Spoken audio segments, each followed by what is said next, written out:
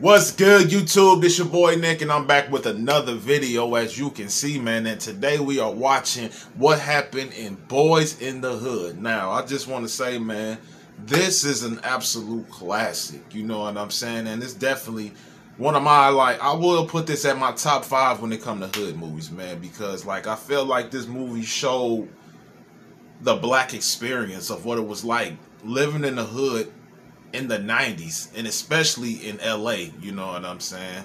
So, I kind of got a dose of what it was like to to live in that that area and the surroundings of LA and and what was going on. But like anyway, bro, let's just get straight into the video, man. Let's get it. Boyz n the Hood is a 1991 hood drama starring some boys. They in the hood. I'll get my brother shoot you in the face. They go to school and Tre keeps interrupting the class with his whack ass elementary school jokes.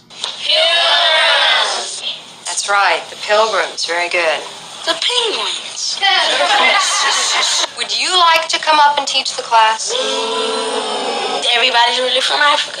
I'm from Africa. You from Africa. You African booty scratcher. Tre's mom is tired of Tre and his rat tail and sends them both to live with his dad, Furious Styles.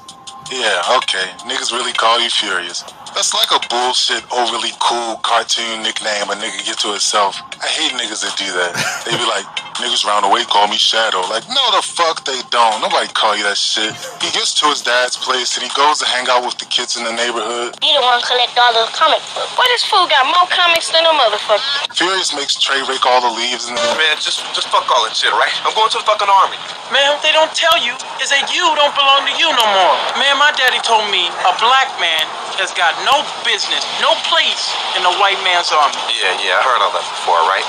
Yeah, this nigga Furious Styles be dropping knowledge. He may be a dirty ass, bathroom ass. That was stinking with afro head. He's doing way more for his kid than most parents, especially Doughboy and Ricky's mom. That bitch hella ratchet. She's not even on drugs or nothing. She just really He's apathetic take to the whole situation. The right path, Anyway. Ricky and Tre go to the store and run into the niggas from the car show.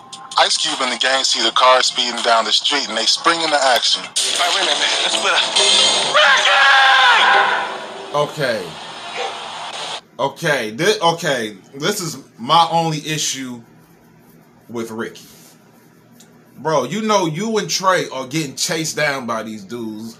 Like, what makes you think you have time to scratch off a scratch off ticket, bro? Like, it was, bro. It was not the right time to do this, man. So Ricky pretty much set himself up for failure, man. Because like, what makes you think you had time to do that? Knowing that you being chased down by some niggas from the hood, bro. like, why? Why, Ricky? Why, man? That's that's that's that's just me, man. That's just me. In a situation like that, I understand this is a movie, but in a situation like that, bro, I wouldn't be scratching off nothing, bro. I'll be I'll be hauling ass, bro, trying to get to safety, man. But hey, it is what it is. R.I.P. Ricky, man.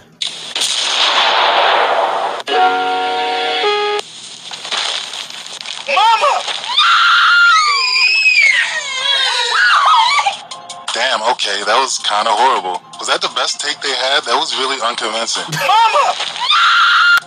Ricky dies in this sad, fucking sad hood movie. Doughboy, Chris, Tre, and Pacifier nigga all go to retaliate, but Tre gets out at the last second. Then he goes home, and him and Furious have a moment. Furious kind of understands where he's coming from, maybe. Ah, whatever. Why these niggas look the same age? Doughboy and the gang end up riding around for a hot ass minute, but they finally get the guys. The next morning, Doughboy comes over and talks to Tre. He tells him he understands why he got out the car. Y'all get him? Shit just goes on and on, you know. Next thing you know, somebody might try to smoke me. Somebody does smoke him next, and that's the end of the movie. oh, Yeah, and Tre goes to college, I guess. Hey guys, thanks for watching. I'm sure you already heard, but the man, the legend, John Singleton, suffered from a stroke on April 17th and unfortunately never recovered. He is now dead. It's a sad day in history, man. Man was way too young, way too talented. More John Singleton movies, man, definitely. Definitely doing Baby Boy. That's my favorite, obviously. You see the intro, you see the icon. Please believe me. We out here, man. Go check out all John's work. Man is a genius. Really sad day. But that's all I got for you, man. I'll see you guys in the next one. All right, later. Yeah, man. Like I said, man, this movie, yo, you know, Boyz n the Hood was just one of those movies that just showed the black experience of like what it was like living in the hood at that time, man. You know what I'm saying? And um it was it was tough.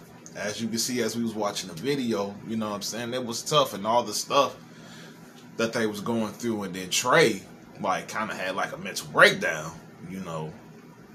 And um Tre just wanted better for his life. You know what I'm saying? But the ending of the movie was crazy when Doughboy, what he said, like somebody go, I'm worried about somebody smoking me, and at the end of the movie, like he ended up, he ended up dying. You know what I'm saying?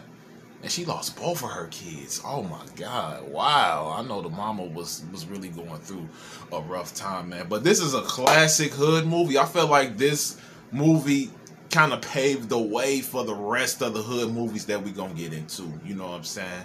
It's gonna on me like Menaces to Society, um, South Central. Um, it's it's a lot. Even Baby Boy. Is Baby Boy? Yeah, I'll say Baby Boy. Yeah, because it was directed by John Singleton.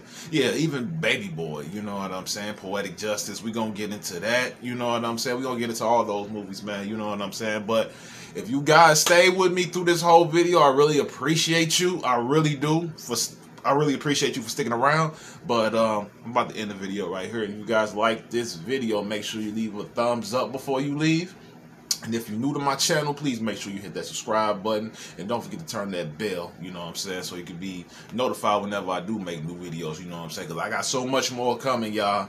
You know what I'm saying? And make sure you guys, um, make sure you guys subscribe to my main channel. You know what I'm saying? That's that's my main channel. This is the second channel. You know what I'm saying? So, uh, hey, it is what it is.